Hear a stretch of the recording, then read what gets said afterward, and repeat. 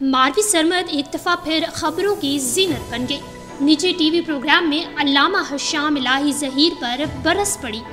नाजरीन, तफसीला इस वीडियो को शुरू करने से कबल आपसे गुजारिश है कि हमारा चैनल और साफ़ डिजिटल सब्सक्राइब कर लें और साथ मौजूद बेल के आइकन को क्लिक कर लें ताकि हमारी ताज़ा तरीन वीडियोस आप तक बर वक्त पहुँचती रहे। लिबरलिज्म का प्रचार करने वाली तजियाकार मारवी सरमत निजी टीवी प्रोग्राम में अल्लामा हशाम इलाही जहीर पर बरस पड़ी। निजी टीवी प्रोग्राम में गुफ्तगु करते हुए उन्होंने कहा कि तुम जैसे मौलवियों के पास लोग बच्चों को अकेला छोड़ने पर राज़ी नहीं होते। मुजरिम तुम खुद हो, इसलिए मौलवियों को सजा से बचाते हो। मुँह पर दाढ़ी का मतलब ये नहीं कि तुम सबके मालिक बन जाओ। मजहबी स्कॉलर अल्लामा हशाम इलाही जहीर ने कहा था कि मस्जिद वज़ीर खान में शूटिंग करने वालों के खिलाफ कार्रवाई होनी चाहिए। निजी टीवी प्रोग्राम में मारवी सरमत ने कहा कि कोई लिबरल ये नहीं कहता कि किसी को सजा ना मिले।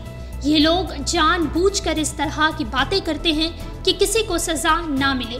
क्योंकि मुजरिम ये खुद होते हैं, इन्हीं के मौलवी हैं, कोई अपने बच्चों को इनके साथ अकेला छोड़ने पर राज़ी नहीं होता।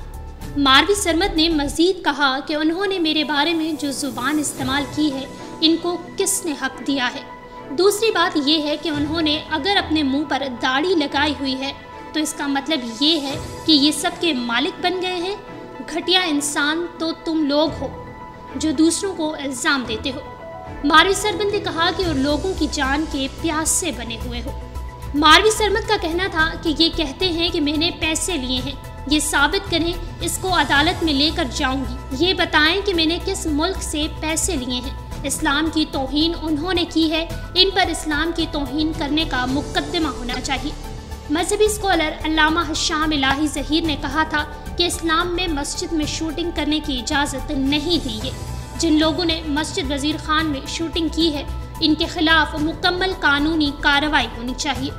याद रहे कि कुछ दिन कबल सबा कमर और गुलकार बिलाल सईद का एक गाना मंजर आम पर आया था, जिसका एक क्लिप मस्जिद वज़ीर खान में शूट किया गया था।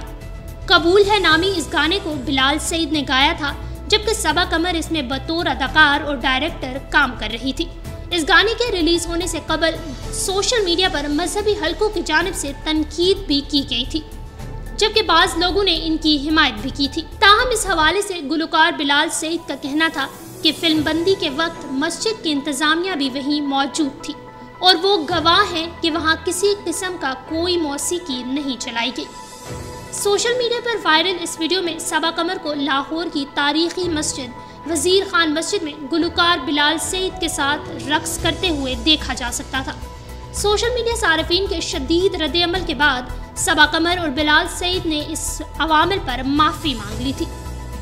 माफ़ी में कहा गया था कि पर्दे के पीछे अक्सबंदी की जो वीडियो सोशल मीडिया पर वायरल की गई, वो सिर्फ़ कबूल है कि पोस्टर बनाने के लिए महज एक क्लिक था, जिसका मकसद निकाह के बाद शादीशुदा जोड़े की खुशी दिखाना था। किसी को तकलीफ़ देना या नाराज़ करना या किसी मुकद्दस मुकाम की बेहरमती करना मेरे लिए इतना ही नाकाबले फहम और नाकाबले कबूल है जितना किसी भी अच्छे इंसान के लिए। लेकिन इसके बावजूद अगर हमने अनजाने में किसी के जज्बात को ठेस पहुंचाई है तो हम तहे दिल से आपसे मुआफ़ी मांगते हैं। अपने सोशल मीडिया अकाउंट पर कबूल है गाने का टीजर शेयर करते हुए। सबा कमर का कहना था कि ये वो वाहिद हिस्सा है जो तारीखी मस्जिद, वज़ीर खान मस्जिद में फिल्माया गया था।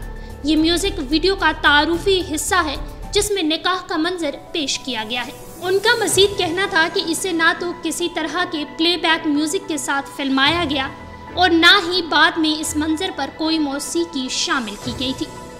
इस हवाले से गुलकार बिलाल सईद ने अपने इंस्टाग्राम पर लिखा था कि फ़िल्म बंदी के वक्त मस्जिद की इंतज़ामिया भी वहीं पर मौजूद थी और वो गवाह हैं कि वहाँ किसी किस्म की कोई मौसीकी नहीं चलाई गई थी।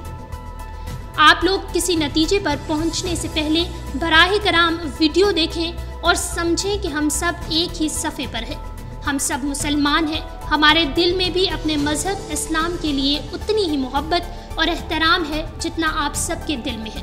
और कभी भी इसकी तोहिन करने का सोच भी नहीं सकते।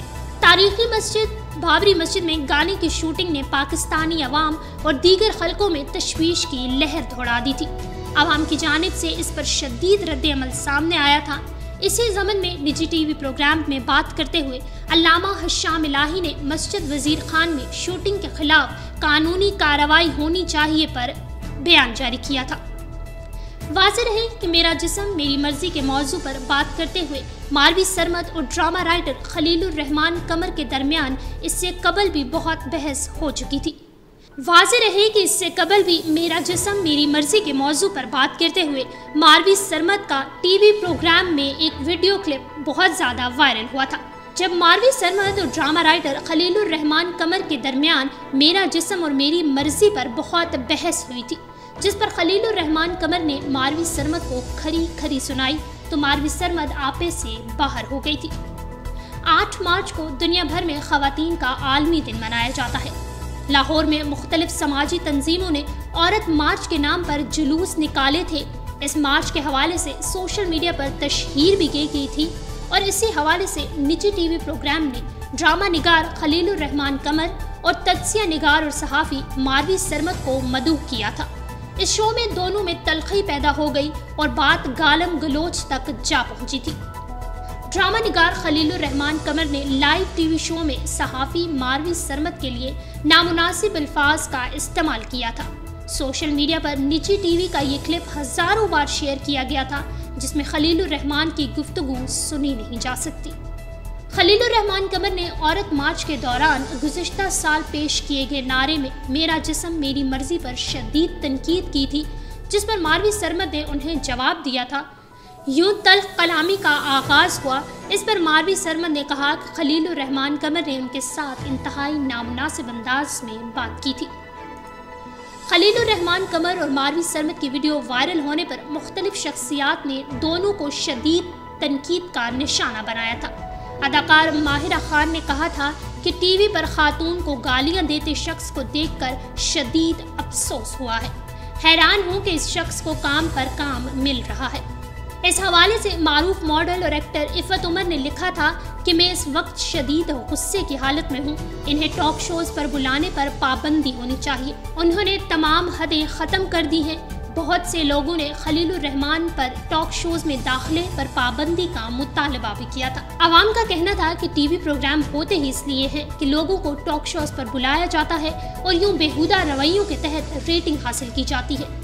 मारूफ सहाफ़ी महमद सरफराज ने लिखा था कि न सिर्फ़ इस क्लिप को सेंसर ना किया गया, बल्कि चैनल के ऑफिशियल ट्विटर हैंडल से भी इसे गालियों समेत पोस्ट किया गया था। नाजरीन, आज की आपने हमारी वीडियो देखी। अगर ये वीडियो आपको पसंद आई है तो इसे सोशल मीडिया के तमाम प्लेटफॉर्म्स पर ज़्यादा से ज़्यादा शेयर करें।